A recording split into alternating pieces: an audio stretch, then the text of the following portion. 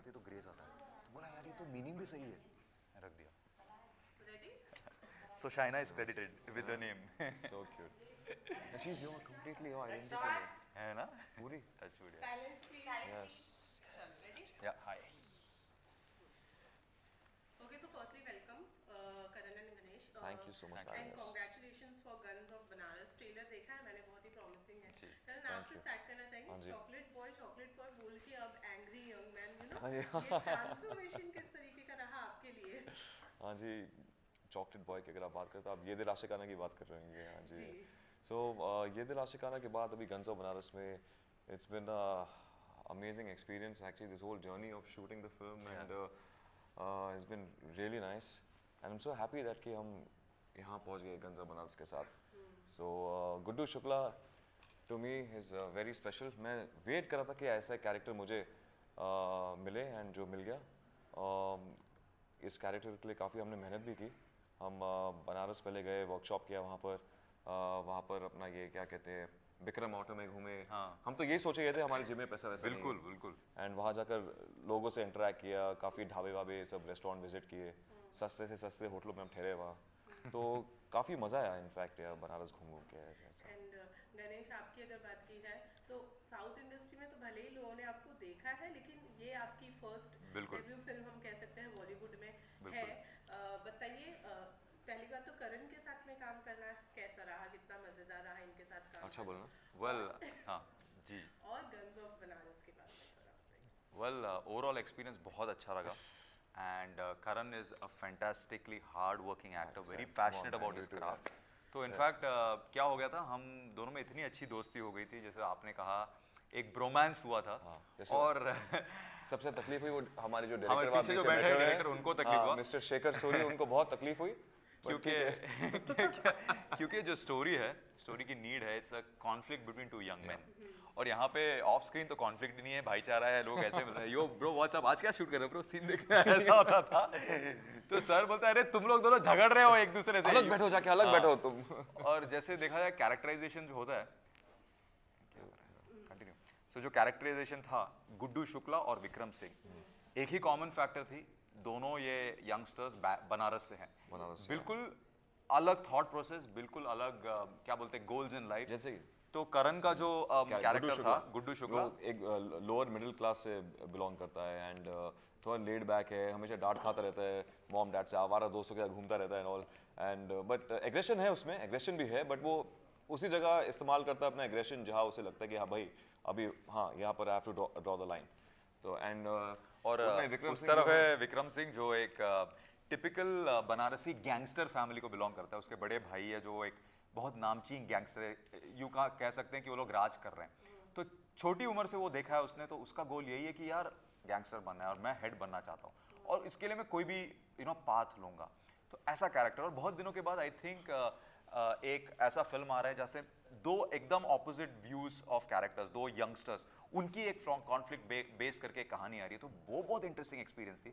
तो किस तरीके से इन दो कैरेक्टर को अलग अलग दिखा सकें वो एक इंटरेस्टिंग एक्सपीरियंस था और I think credit goes to Shekhar Suri sir और फ़िल्म में भी अब अगर आप देखोगे तो एक तरफ़ करण का ट्रैक चल रहा है उसके फैमिली के साथ उसके लाइफ उसका लव और दूसरी तरफ़ मेरा कैरेक्टर पर जब भी ये दो आते हैं और क्रॉस करते हैं एक दूसरे को स्क्रीन में तो कुछ कुछ ना कुछ खलबली कुछ ना कुछ बवाल मच जाता है और वो बहुत इंटरेस्टिंग था। वो एक स्क्रीन प्ले पैटर्न होता है। एक उसके पॉइंट ऑफ़ व्यू से नरेटिव है एक मेरा पॉइंट ऑफ़ व्यू से नरेटिव है और एक्चुअल कॉमन नरेटिव क्या है?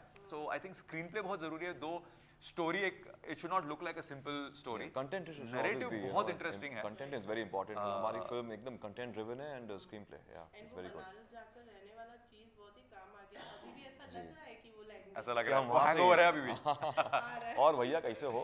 क्या और यू नो आपकी अगर बात की जाए तो जी। ये रीमेक फ़िल्म है तो बहुत बहुत दफ़ा यू नो आपको कंपेयर किया गया कि यू नो धनुष को हाँ जी। टक्कर दे पाएँगे। ऑलरेडी थे माइंडसेट बना लिया था अपना कि यू नो कंपैरिजन तो होगा। जी मैंने एक्चुअली मैं जब फ़िल्म पोलातवन फ़र्स्ट टाइम देखी थी तो मुझे तो स्टोरी बहुत ज़्यादा पसंद आई and it's a completely content driven film So I'm I'm very happy that I'm doing his part in Yeah. Hindi. And And, I- Dhanush himself, he's the way you ask, uh, uh, I think comparison always a good thing because Yeah. Dhanush ने इतने साल से काम करके he's a superstar. he- he's a big star there. And for Karan to try and जैसे कहते हैं ना अगर आप आसमान के लिए छलांग मारो तो दस माले तक तो पहुंचोगे so to try and kind of जैसे कि एग्ज़ाम्पल अभी आपको देखे देख, अ, देते हैं कबीर सिंह में हाँ, जो जो रोल किया था विजय ने किया था, विजय ने वो शाहिद ने बहुत अच्छा रोल निभाया एंड उन्हें भी उतना ही प्यार मिला जिन्हें जितना हाँ बिल्कुल तो I guess you know as long as story आपको पसंद आती है या रीमेक हो या कोई भी हो किरदार आपको पसंद आना चाहिए and you should be excited about doing that part and आपने भी यू नो साउथ इंडस्ट्री में कमल हसन साहब के साथ में अमिताभ बच्चन सबके साथ काम कर लिया दिग्गज लोग हैं यू नो अपने आप में। लेकिन अब जब बॉलीवुड इंडस्ट्री में एंटर कर लिया है तो किसी के साथ काम करने की ख्वाहिश है सबके साथ जैसे आपने कहा अमिताभ बच्चन सर का मैं बहुत बड़ा फ़ैन रहा हूँ और honestly I think I am thankful to the south film industry ऐसा मौका मेरे करियर में मिला जो मेरे डैड बने एक फ़िल्म में। तो ज़रूर उनके साथ एक हिंदी फ़िल्म भी करना चाहूँगा। और बहुत सारे डायरेक्टर्स हैं जो मेरे विश लिस्ट में राजकुमार हिरानी सर हैं। और आजकल कितने कितने अच्छे मूवी लग रहे हैं। मतलब जैसा न्यू फ्राइडे कोई फ़िल्म आती है and I love the work जैसे आयुष्मान की वो फ़िल्म आई थी कौन सी फ़िल्म थी यार? वो नेशनल अवार्ड मिली थी उसको। बधाई बताइए बधाई हो। तो उस डायरेक्ट उन डायरेक्टर के साथ मैंने एक एड कमर्शियल शूट किया हुआ है बहुत साल पहले जब मैं मॉडलिंग करता था तो अभी वो इतने दिग्गज डायरेक्टर हो गए तो इतने लोग हैं I want to work with and definitely Deepika Padukone के साथ मैं काम करना चाहता हूँ। अच्छा। तो मेरी फेवरेट फेवरेट हीरोइन है वो।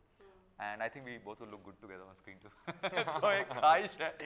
And I I believe you should never stop dreaming because मैं एक छोटा बच्चा था जो स्कूल जाता था और अमिताभ जी के बंगले के बाहर देखता था शायद उनको आज दिख जाए दिख जाए।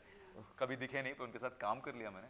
तो ड्रीम्स डू कम ट्रू तो नेवर स्टॉप ड्रीमिंग तो जैसे कि आपने कहा दीपिका और आप अच्छे लगेंगे लगता है आपने ऑलरेडी इमेजिन मैंने इमेजिन कर लिया। मैंने imagine अपना काम कर लिया। I am waiting for the universe to respond now obviously हो सकता है सुन ले और कोई ऑफ़र कर दे वैसा। करण आप बताइए यू नो काफ़ी लंबे समय बाद वापस आ रहे हैं। जी।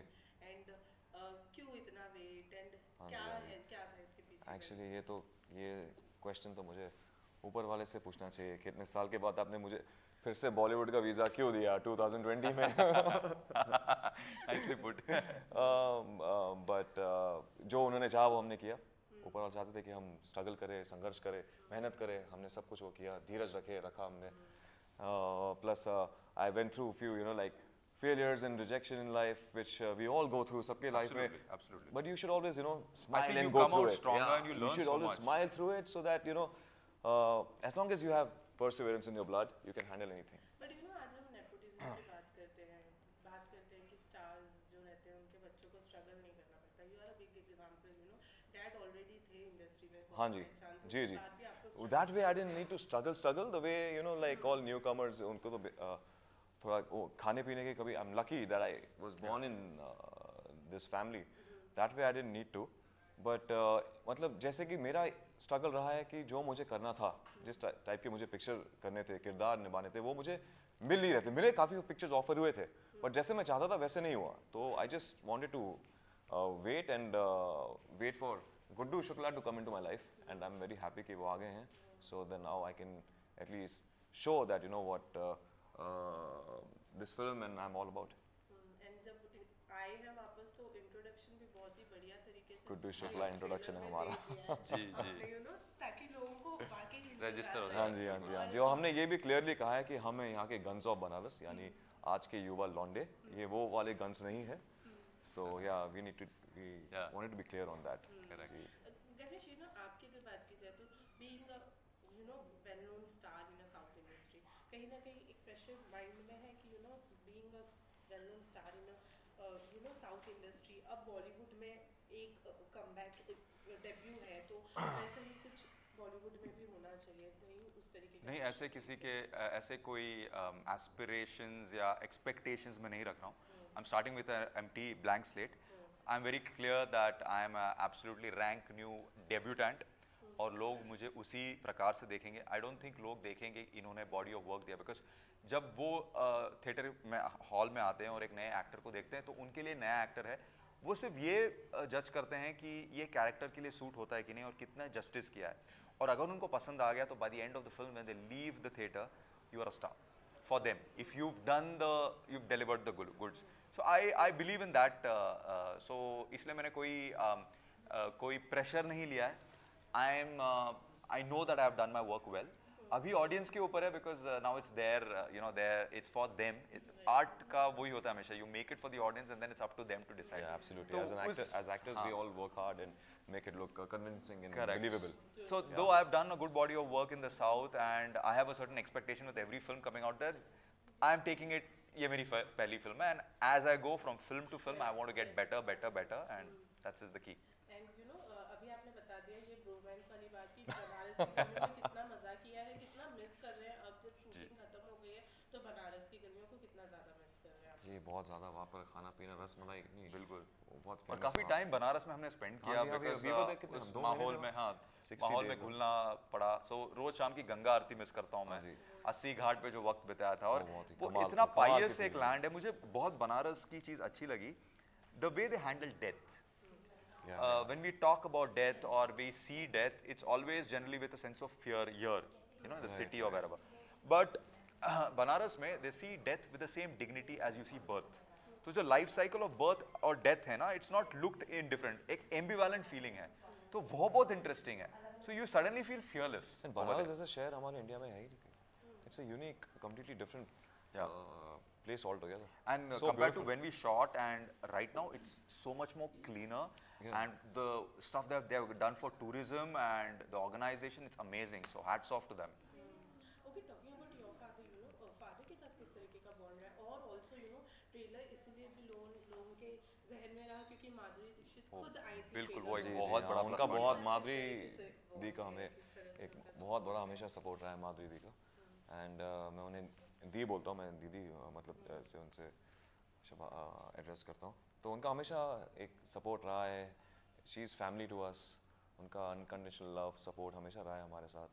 एंड uh, वैसे वो कहीं जाते नहीं हैं ट्रेलर लॉन्च करने के लिए but she specially came for us so we feel so honoured and you know And I think for me and Karan, इससे बड़ा कोई Valentine's gift हो नहीं सकता. Yeah, Because seriously. the ultimate Dhak Dhak girl comes Absolutely. on Valentine's Day and launches the think it's the moment and I think because uh, उन्होंने launch किया और काफ़ी सारी अच्छी चीज़ें बोली मूवी के बारे में खासकर एक्शन के बारे में आई थिंक रीच बहुत अच्छी She milli loves doing. She loves uh, action films, by the way. Yeah, yeah. इसलिए उन्होंने वो गुलाब गैंग भी फ़िल्म उन्होंने हाँ उन्होंने की थी। और which उन्होंने mention भी किया था वहाँ पे उनका एक्सपीरियंस बताया चलो अब आपको देख लिया उन्होंने प्रेज भी किया है ऑन जी, स्टेज जी, यू नो आपका एक्शन देख के हाँ जी। अब हमारे ऑडियंसेस को बता दीजिए कब देखने मिलने वाला है उन्हें गन्स ऑफ़ बनारस और हाँ। क्यों उन्हें देखने जाना देखिए 28th Feb we are coming. 28th Feb Guns of Banaras and uh, इस बनारसी स्टाइल में वो लैंग्वेज पकड़ के अगर बोलेंगे तो ज़्यादा अच्छा होगा। 28th Feb को हमारे हमारी फ़िल्म आ रही है गन्स ऑफ़ बनारस एंड आप लोग uh, uh, उम्मीद यही है कि आप लोग इस फ़िल्म को उतना ही प्यार देंगे जितने प्यार से हमने इस फ़िल्म को बनाई है। और इस फ़िल्म में आपको गुड्डू शुक्ला और विक्रम सिंह की टक्कर देखने को मिलेगी। Yes. और बहुत ही सारा खूंखार एक्शन हमने किया है। जो श्याम जी का मिस्टर श्याम कौशल जी उनका एक्शन काम देखा होगा। Plus music by Sohel Sohel Sen उनका लास्ट गाना Bala was a rage all over India and उनका म्यूज़िक भी बहुत ही कमाल का है। So we have also have very strong content भी हमारा बहुत बढ़िया है। तो आई होप आप लोग को ये पसंद आई एंड आप लोग इस फ़िल्म को ढेर सारा प्यार देंगे। Thank you so much and all the very Thank, you so much. Thank, you.